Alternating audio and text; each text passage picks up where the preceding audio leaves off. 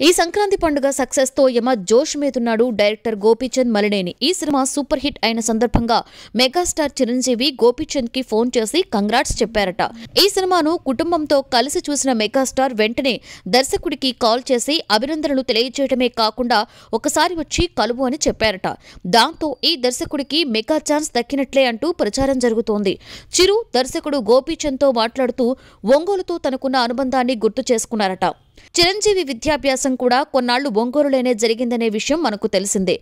ఒంగోలులో తన అనుభవాల గురించి చాలా సార్లు చాలా సందర్భాలలో చెప్పుకొచ్చారు. క్రాక్ సినిమా చూశాక చిరంజీవి మరొకసారి నాటి రోజులు గుర్తుకొచ్చాయట. గోపీచంద్ కూడా అక్కడ వ్యక్తి కావడంతో ఆ రోజుల గురించి మాట్లాడుకున్నారట. సినిమాలు చూపించిన చాలా సీన్స్ విషయాల గురించి వారి మధ్య చర్చకు వచ్చాయట. ఒంగోలులో రాత్రి ఎనిమిది తర్వాత కరెంట్ ఆపి మర్డర్స్ చేయడం వేటపాలెం హత్యలు లాంటివి మాట్లాడుకున్నారట. సినిమా ముచ్చట్లన్నీ అయిపోయాక గోపీచంద్కు చిరంజీవి బంపర్ ఆఫర్ కూడా ఇచ్చారని తెలుస్తోంది. సో మెగాస్టార్ రమ్మన్నారు కాబట్టి గోపీచంద్ త్వరలోనే ఆయనను కలవడానికి వెళ్ళేందుకు సిద్ధమవుతున్నారు.